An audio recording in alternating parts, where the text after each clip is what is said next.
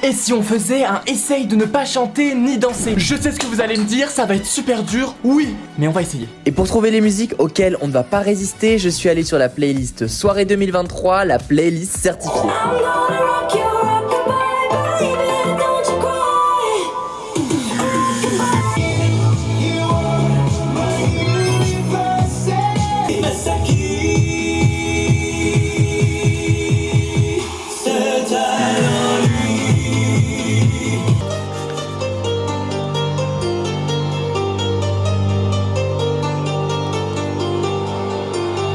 I'm good, yeah, I'm feeling alright.